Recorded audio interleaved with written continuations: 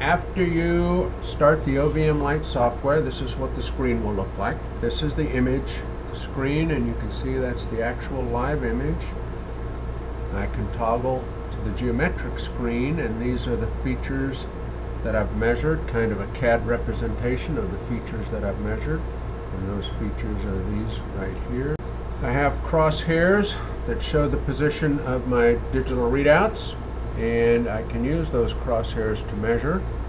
The center of the crosshair has an edge detector, so or indicator, so I can indicate when I'm on an edge. So I can put that right on an edge. I can hit the incremental coordinate system or zero out my two axes, move over to the other edge of that feature, pick up the edge with my indicator, and you'll see I got lucky. I got an even 0.6 millimeters on a 0.6 millimeter standard. So anyone can use this like an optical comparator and use the crosshairs to measure.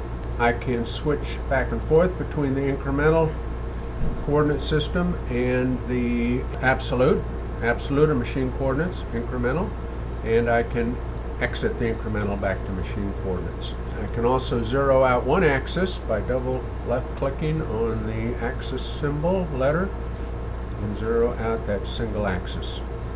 The other windows here on the screen are the feature list of the measured features. Notice if I go to the geo screen and highlight a feature on the list, it highlights it on the screen. If I highlight it on the screen, it highlights it on the list. In this window, I have the summary results of the measured data, the characteristics of the feature I've measured. Down here, I have the manual measurement tools. Let me switch back to the image screen. With these manual tools, I can point and left click with the mouse on the position I want to measure. So if I want to measure a circle manually, I can come up here, put the crosshair on the edge, left click, you see the little red dots. If your eyes are good, you can see the red dots of the points I'm taking. And I left click to complete the feature. If I turn this down, you'll see the green is what I measured. You can see how well it overlays.